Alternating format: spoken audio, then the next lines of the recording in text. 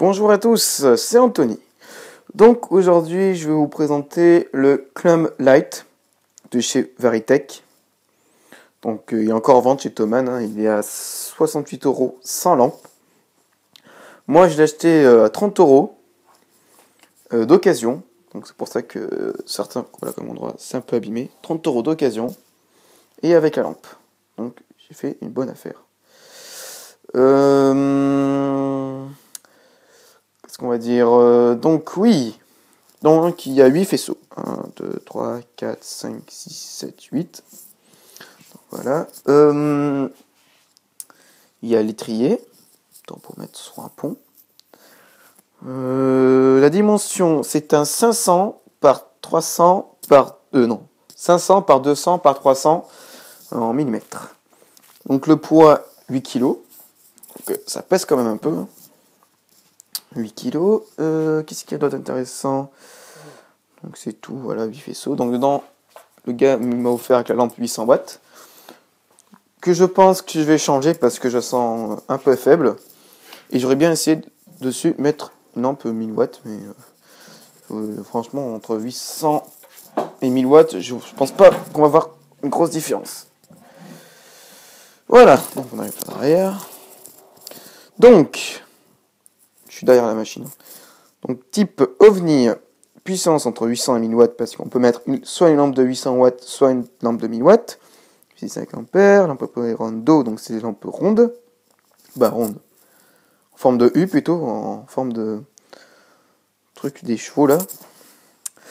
Euh, donc là, ils disent voilà que la lampe peut mettre soit une GX 800 watts ou soit une GX 1000 watts.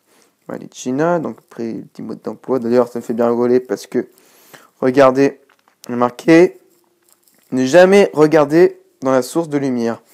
Et en fait, euh, quand ils écrivent des I, ils écrivent avec des I majuscules. Enfin bref, leur, leur I aussi ressemble au L. En fait, on fait ça partout aussi. Quand on regarde euh, tenir éloigné de la pluie, donc euh, là aussi, bon. enfin bref. Donc, là, on a la petite trappe pour changer la lampe. Donc on voit déjà que c'est pas vis d'origine, le gars il a dû changer. On voit aussi que il y a un ventilateur, un plus gros, et un troisième d'ailleurs. Il reste. Oh merde, bon fuck, j'en tout à l'heure. Donc il y a trois ventilos. Ventilos, parce que franchement ça chauffe dedans. Donc deux petits et un grand.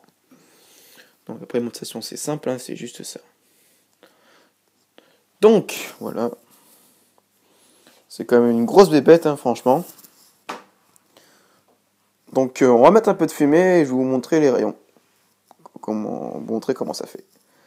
Allez, tout à l'heure. Bonjour à tous, voilà donc j'ai mis un peu de fumée avec la machine. Et donc on va voir une fois allumé. Alors attendez, juste pour montrer la machine là, euh, le truc. Donc oui, j'ai mis un peu beaucoup de fumée, sans faire exprès. Donc c'est parti, on allume. Et voilà ce que ça fait. Alors ça, en fond de scène, c'est vraiment génial. Mais là, on voit vraiment que la lampe, euh, elle a du mal. Donc franchement, hop, hop, je décasse ça. Franchement, euh, ça fait des putains de rayons. Hein. Franchement, super content. Super content. Alors, euh, attendez, je vais comparer, si vous voulez, avec un par 64 à côté. J'ai sorti le par, donc vous voyez, j'avais un peu de fumée, c'est un peu beaucoup trop. Franchement, ça fait des super rayons. Hein. Donc, on va brancher le par. 64 000 watts. Oh, putain. Et donc là, euh, excusez-moi, mais on voit nettement la différence. Hop là. On voit même que c'est un faisceau serré d'ailleurs sur ce par Alors vous voyez que par rapport à ça, ça, ça fait un truc. Voilà, je vous laisse. Ciao.